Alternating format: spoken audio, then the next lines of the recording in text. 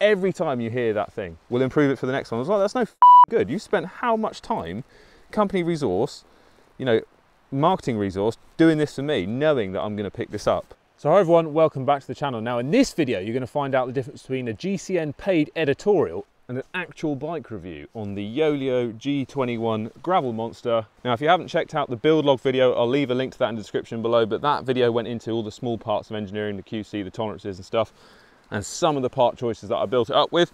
That This is more of a final ride review, and I'm also going to chat a little bit about the classified rear hub system, but that's going to have its own video because it's quite detailed and very, very geeky, that one. So, this is obviously a custom paint job. I didn't really talk about it in the last video, but I teased it with the intro, the Rothmans Rally theme. Why the Rothmans Rally theme? Well, let's get rid of that pink bottle because that doesn't go. This is a nod and a bit of a thanks to Peak Torque's mum, because from the ages of about 10 to 16, pretty much every weekend she sat in a drizzly car park waiting for me to go mountain biking, taking me downhill mountain biking, sitting in all sorts of rainy and shit weather and not even complaining. So thanks mum. Now, during the early 80s and through to the 90s, my mum was working for Rothmans Rally Team and she was semi-responsible for dealing with the rally team sponsorship. So that went from the early 80s with Ari Vatanen, who won the Drivers' World Championship actually as a privateer. So that Ford Escort in the Rothmans colours was actually not factory works car and then they went all the way through 80s up to the early 90s with the late Colin McRae in the Subaru Legacy, believe it or not. So my mum always mentions uh, her Rothmans rally days as like a happy time in her life. We both love the outdoors, we both love forests, gravel, rallying. The gravel bike and rally car thing, they kind of go hand in hand. You know, you've got a bit of road stage to get to the fun stuff, the gravel stuff, and then you go hell for leather when you're off road. So it's kind of similar to a gravel bike. And I thought, what better paint scheme for the bike than to have an actual Rothmans bike? Now, originally I thought they were just reaching out to me for kind of like a marketing purpose to say you can have custom paint for a YouTube special, but actually they offer it to anyone for about 300 USD. Now, if you know anything about custom painting, whether it's bikes or cars or whatever, it's seriously difficult.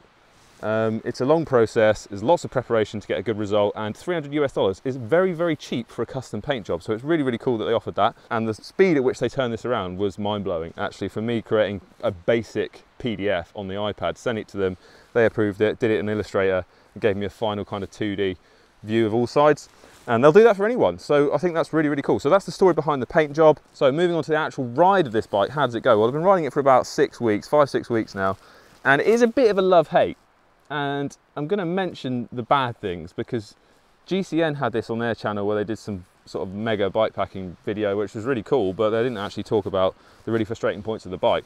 Now in terms of the little features that you'd normally get pissed off with on a bike like the bottom bracket creaking the brakes not being faced or perpendicular to the discs, or the headset being difficult to preload. All of those problems don't exist on this bike. In terms of the engineering, this bike is very, very, very well done.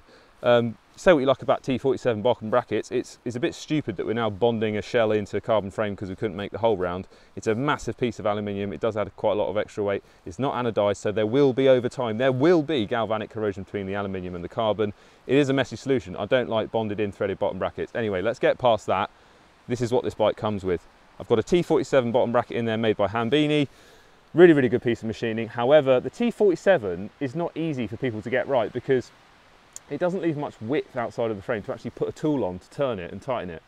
The other problem is the paint keep out area is too close to the shell. So when you tighten those you know, lobes on the bottom bracket, even though the Hambini ones are very, very small, some of the smallest out there, they scuff up the lovely paint job on the frame, which is really, really, really annoying. And I've relayed all these problems to to Yoleo um, and they will improve it I'm sure. Headset, thought it was going to be a bit difficult to preload this because obviously an integrated aero handlebar, I really don't see the point of that on a gravel bike. For what I'm going to do with this gravel bike, it's going to be more towards the mountain bike spectrum, sort of more technical gnarly stuff. I ain't going to be needing an aero handlebar.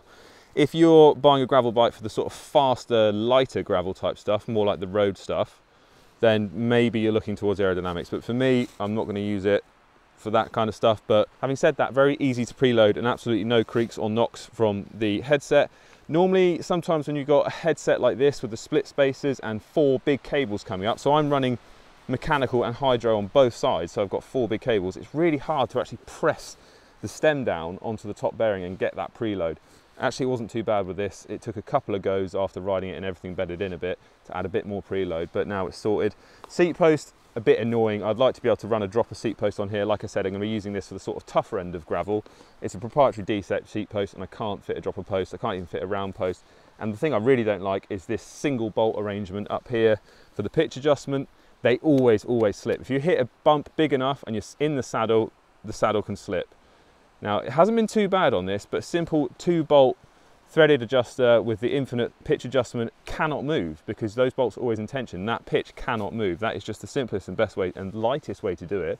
The good thing about this one though is it offers quite a lot of fore and aft uh, positional change, but that makes the, this part of the seat post really, really long and quite ugly. So I don't really like that. Where you can consider aerodynamics, maybe this is slightly better, but for me a dropper would be better. Um, it's very, very stiff owing to the quite chunky down tube and the T47 bottom bracket. The ride response when you're pedaling is, is very good. It's very stiff. The power transfer feels even 35 PSI in quite a skinny tyre. I can get the rear wheel just spinning quite easily when I'm stood up on, on loose gravel um, which is a little bit annoying. There's odd, odd, wheels on here. This is the Yoleo kind of gravel wheel, which is, I think is 25 mm internal, and then on the back I've got the classified because I'm going to show you that in a minute.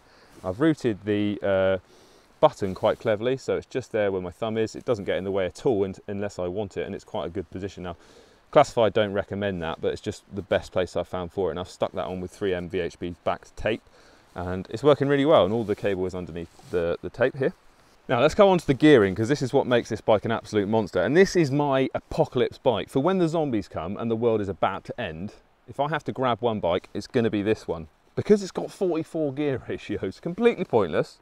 But when I built this bike up, it wasn't confirmed whether I was going to get my hands on the classified rear hub. I was still talking to them, still trying to blag one, but we've got one now. But by the time I'd actually got it, I've already put the double chain rings on the front. I've already put the front mech on there. So I thought, well, instead of just going to one by, let's just use the classified and the 2 by. and now I've got 44 possible gear ratios. Now there's probably some overlap in those ratios, but with this setup, the 5034 on the front and 1134 on the back and the classified rear hub, I believe I've got the biggest gear range ratio bike that you can buy. So I've calculated, I think it's about 640% or something, and that makes it more than the biggest range on a SRAM Eagle mountain bike set.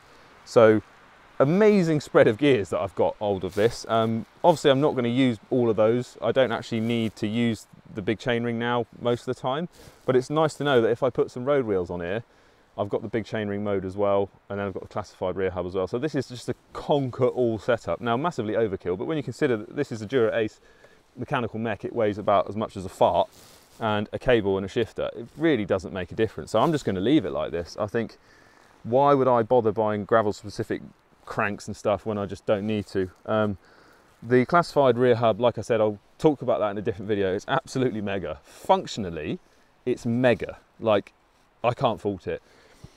Commercially, of course, it's it's it's a right mess. It's an inventory mess, a logistics mess. They ship, you know, hundreds of parts with it. So they shipped me what would be actually sent to a dealer. Um, so most customers wouldn't be able to get that build process themselves actually and they'd have to go through a shop which is a bit annoying if you're quite techy and you like this kind of stuff which you are because you're watching this video that's quite annoying but yeah I've got some really old uh, SPDs on there that I've had for about 15 years they're a bit loose and they're lethal because they just clip out when you don't want them to on the rough stuff but yeah um, really ugly lizard skins bar tape but it's 3.2 it's the DSP one the thickest one and it's so comfy it's a horrible colour, but it was cheap, so I don't care.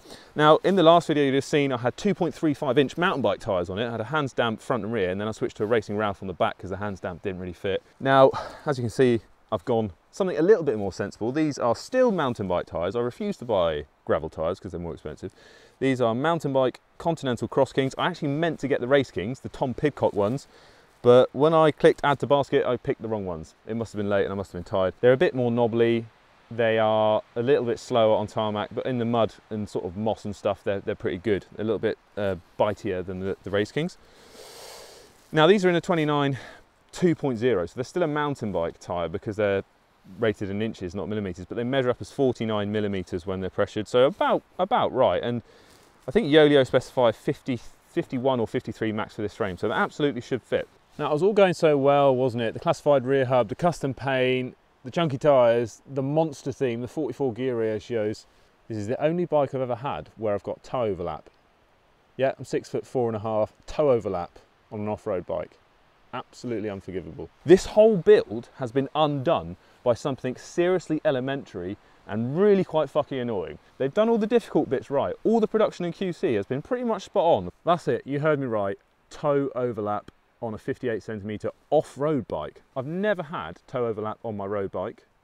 Now the front center of this bike is shorter than my TCR.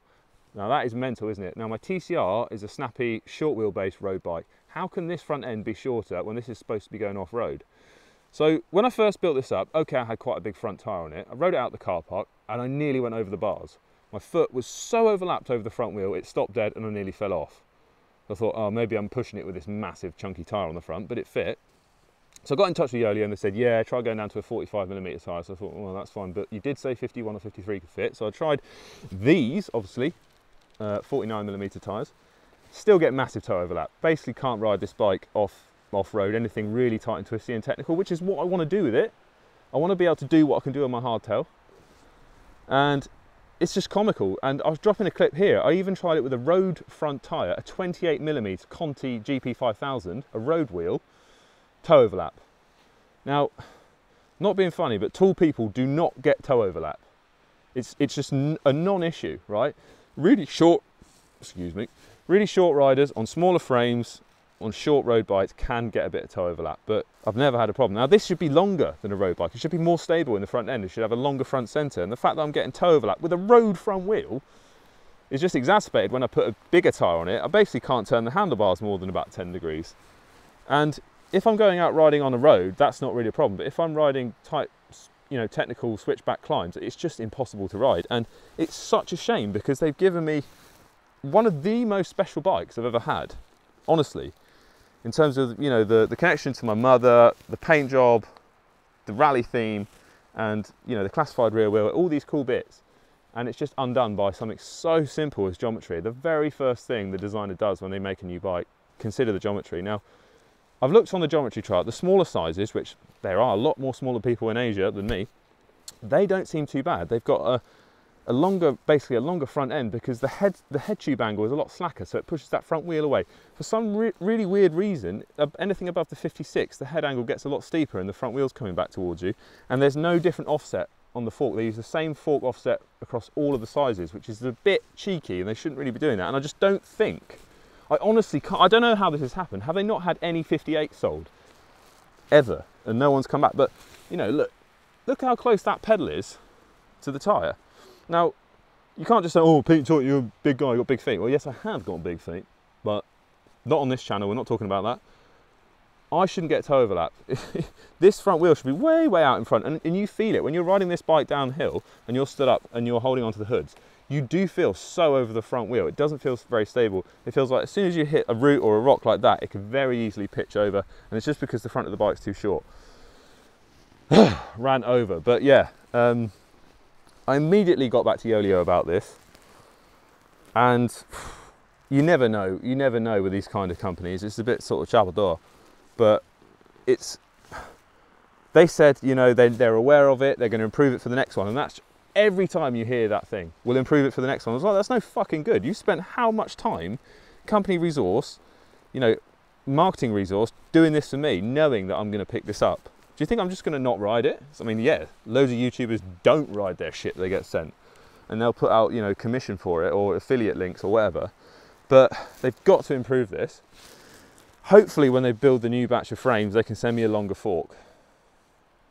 Because I can't change the head tube angle, but they have said for the new one, they're going to change the head tube angle. But I really, really hope when they do a new one, they can send me it and I can love this bike because the little parts and the, the QC and, and is pretty good and it could be amazing. And I love the fact that you can fit absolutely huge tyres in it. And I want to be able to ride an enduro tyre on it. I want to be able to do crazy things on it. It's a fucking gravel bike. It doesn't need to exist. So why shouldn't I be able to just make it stupid? But I'm just going to ride my hardtail because that won't throw me over the bars if I, well, I don't get toe overlap. but anyway, Yoleo, you nearly did it perfectly. It's not even the execution it's like the first step on the on the geometry chart. Make sure it works. Don't make it shorter than a road bike. Just to satisfy the trolls out there. That that's about an inch and a half of overlap I can't turn the handlebars And that's lethal when you're riding down some technical stuff. And you're going to say, oh, you shouldn't ride it down technical stuff, Peak Torque. That's not what a gravel bike's for. Well, it fucking is.